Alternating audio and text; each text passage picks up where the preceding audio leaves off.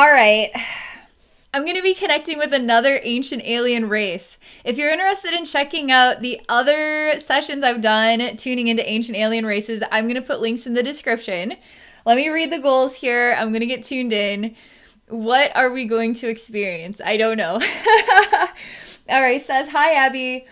Ancient Race Reconnection 3.0 time. this time, can we please visit the Alithir a L I T H I R race, Alithir race, and go with the flow to share, explore, transmute. Thank you. I am so excited right now. gotta calm down, gotta chill out. I've never heard of any of these races, so you're really expanding my horizons here by introducing these races to me and giving me an opportunity to just tap in to their energy and the wisdom they have to share with us from the past into the present, into the future, because we're all interconnected. All right, Alithir race. That's what I'm gonna. That's how I'm gonna pronounce it. Okay.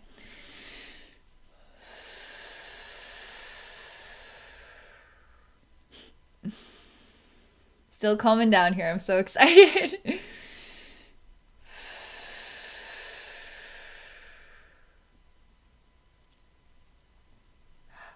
okay. Yeah. It's like a blanket, and I feel infected, like an infection.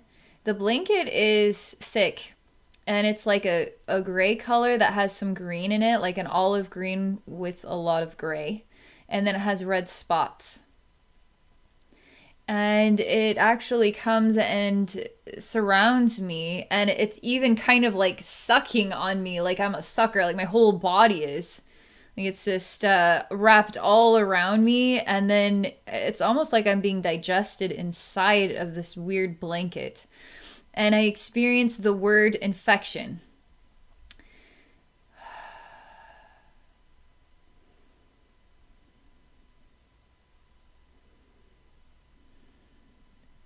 There's a lot more to say about this.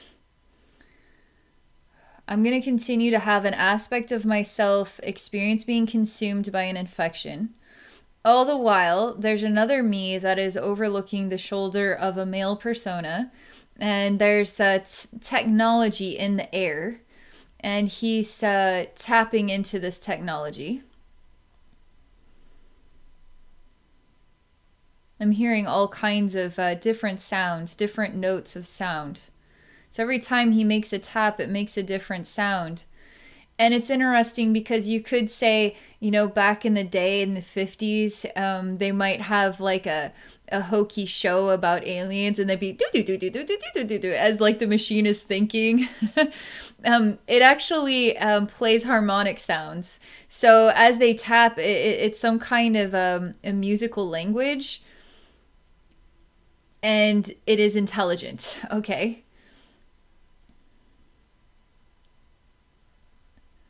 Okay. Imagine if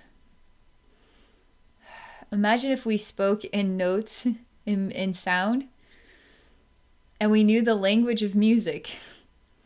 It's literally it's super intelligent. I mean, I'm experiencing this male's persona uh, seamlessly creating what could be an orchestra, um, a symphony uh, of uh, of musical um, communication um, through this um, device that is in the air. And I hear when he moves his hands, it makes sounds, but it's also creating a it's it's a language of some kind. I'm gonna slow down for a moment. I still have a version of me that's being consumed by an infection. Another version of me is experiencing a musical language. I will say it's pretty overwhelming on my brain to experience the infection. It's, it's bothering my brain.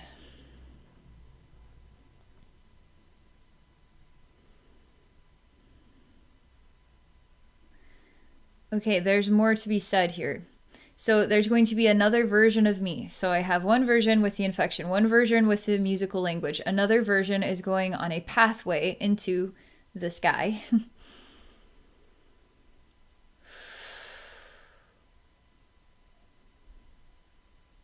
oh, this is very peculiar. From this musical language, there opens a portal in the sky. And I know what I'm doing, and I'm literally being vacuumed up into a portal, I'm being literally sucked up into it. And it's uh, it's just simply like an elevator. It's like a, a mall elevator. But this is surreal um, to see and feel and experience this as a human being. And this uh, portal is activated by the musical language. And so I'm just going, getting sucked through what is like a wormhole. And I feel it is like a suction, sucking me through it, through an intestine in the universe. The universe as an actual human body, as a physical body with intestines, intestines as wormholes, and tapping into the body of the universe and getting sucked into it and digested through it. But it doesn't hurt you, it just poops you out somewhere. That's literally what the message is helping us to understand how they travel the universe.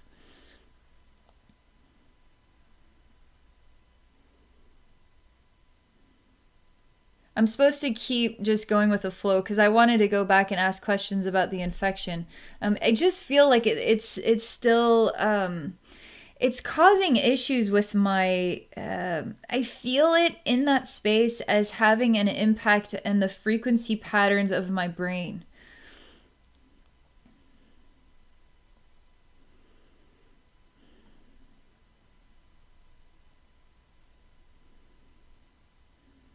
Is it possible that this race of beings has gone through different timelines, different realities? Um, some of them went through the infection. Some of them went through um, advancements in traveling the universe. Some of them went through something else. That there's been um, a split in the pathway of this race of beings. Because this infection is not like um, I got spots all over and now I'm itching. It's literally like a slow digestion of um, the brain frequency, like an Alzheimer's, but it doesn't say, it doesn't define it as an Alzheimer's it even sort of alters the pattern of their thinking.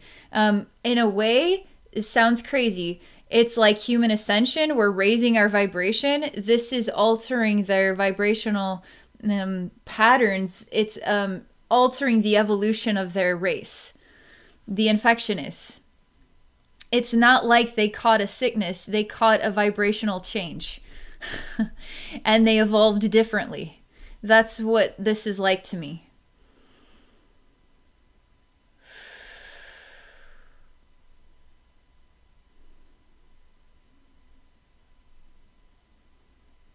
Okay, now this is much different feeling. And I'm uh, in a room with a blockhead. he literally has a, a giant cube um, for a head, but it's not perfectly flat. Um, it's kind of rounded at the edges. And his skin is like an orangish color. And he, he almost looks like a pumpkin head. He has eyes and a mouth. And he has a humanoid like body he's in a way wearing a dress. Um, it bows out at the sleeves and then it kind of comes in at the wa- waist and then bows out and it's um, kind of has a, a rounded bottom and it goes to his ankles and it's a whitish color. And he's in a, in a room that is a block as well. They seem to have a sense of humor because he is somehow funny. okay? I don't know if he actually has a blockhead, but he's showing me himself as a blockhead, okay? or maybe this is how I'm making sense of um, what this collective um the what we are to learn from this collective, okay? I, I can't help but I say, did you guys become blockheads? Did the infection do this to you? I, I, it feels so rude. It feels so mean. Like I'm calling him a blockhead. Okay, let me see what he says. No, he's not a blockhead. Um, he's actually pretty straight, and he has a, a strange spear, but he says it's not a weapon. Um, and it's really skinny and long. It's uh, metallic. It comes to a rounded point, um, and it's sharp at the tip. but he prefers to define it more as a pointer stick um, for pointing at things at a long distance. So he's pointing right now with his pointer stick. I'm telling you, they have a sense of humor somehow. Okay. I can't help it. All right, I'm going to calm down here. He wouldn't hurt a fly. Not with his pointer stick. he shows me um, he's pointing and he did not hurt the fly. He did not stick it with his pointer stick. It's like the driest humor that is so hilarious somehow because it's so surreal. I'm to calm down so I can actually talk to this guy. Okay, I tell him that I can't help it. He's really funny. All right.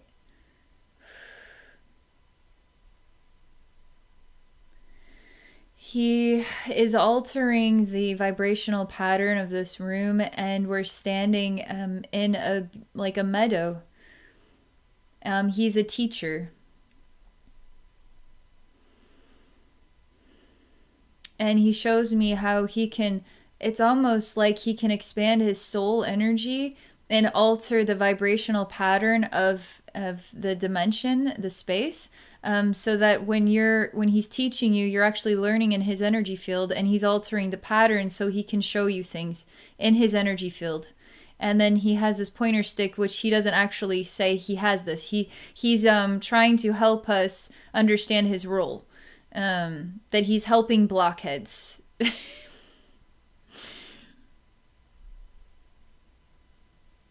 Is that what he's saying? Let me ask him. He's saying that his pointer stick is is a tool that teachers have, and he's using a pointer stick to show us that he's a teacher. What about you as a blockhead? He wants me to just be in the meadow of his energy field. He wants me to tell you that evolution is a beautiful process but it could feel like an infection that is um, absorbed into your mind. Um, and that the race, this race, actually went through evolution just like we are. Um, and that if you could see how far they've come, um, they you, you could say they started like us and slowly evolved um, with the gift of this infection, which was never an infection. It was a vibrational change that inspired the evolution of their race so that they could become more expanded, more aware.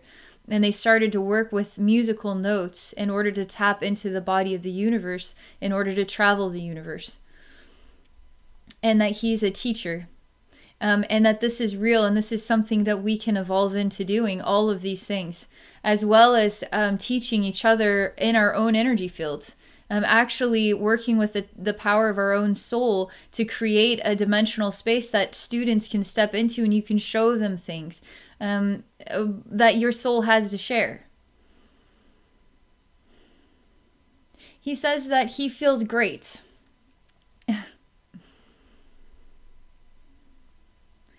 Um, this is really hard to understand about time, but he's saying something about um, three steps, three major um, steps of evolution that started with um, the infection and then um, the evolution to a musical language um, and then to where he is now. It almost feels like they can phase in and out of our dimensional plane. But I feel him at a much higher dimension, so he would be invisible to us and I still feel him as a physical being, just at a different dimensional plane.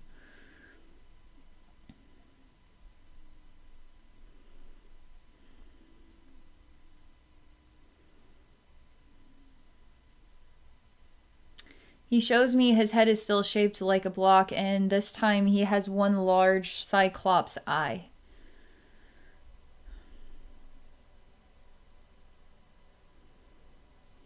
and he loves storytelling.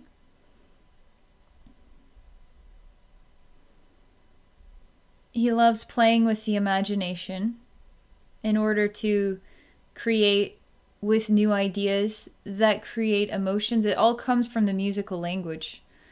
because as he says this, I feel so much music coming from his heart as he tells me this. I mean, musical language is so much more than words because um, they're attracted to the music that um, creates light, not the music that creates um, a suffocation. Um, they're really um, beautiful, joyous sounds. And there's so many beautiful, joyous sounds. And when he describes telling a story, he's saying it with so many different musical notes from in his heart. and he loves um, Greek mythological stories. So, like, um, he likes uh, stories that are about um, surreal people, people with different abilities, um, different types of faces, different um, personalities from the average human. It really feels Greek to me, um, not like Greek and Egyptian, and you know, all, it feels Greek to me. It has a very specific feeling to it.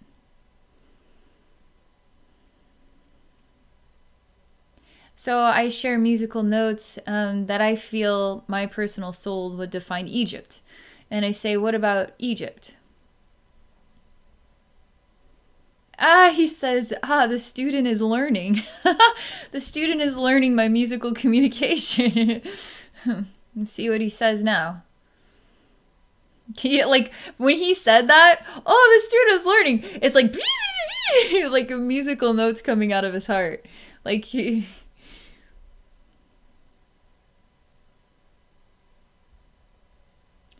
um,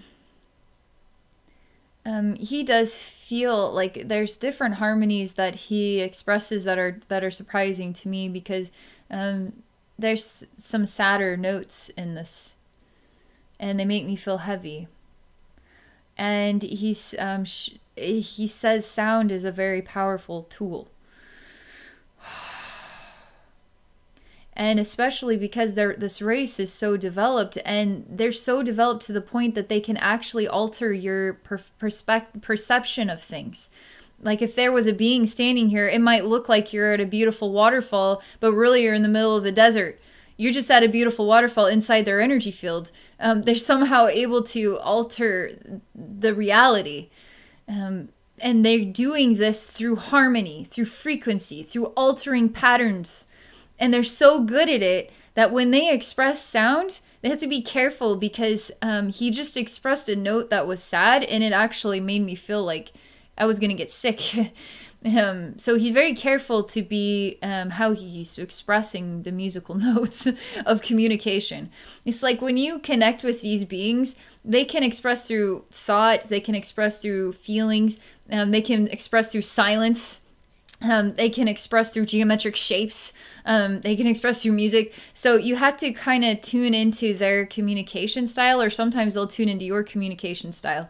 Um, so it's it's it's uh, it's workable. Like I can understand. I can understand what he's saying through music. Okay, um, and it just sounds like notes. All right.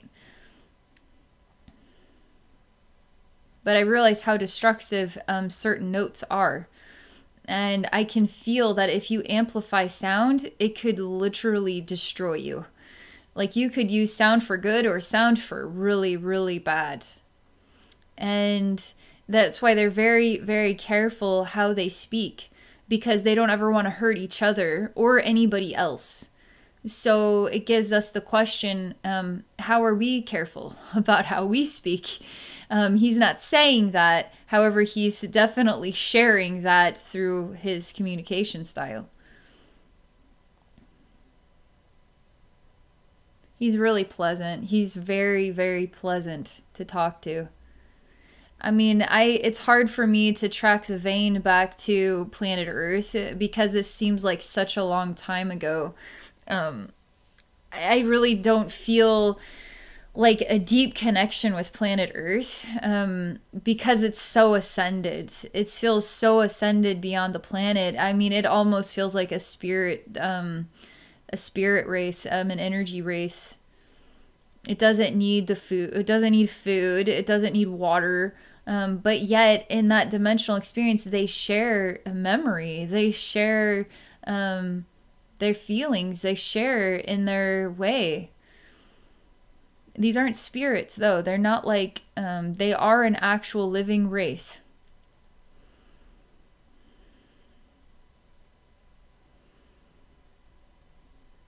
Hmm. Okay, that's all I can share about that. It was so interesting. Thank you so much. I value the, these experiences so much. Thank you for sharing. Hmm. Still like surreal right now. Still coming back into myself.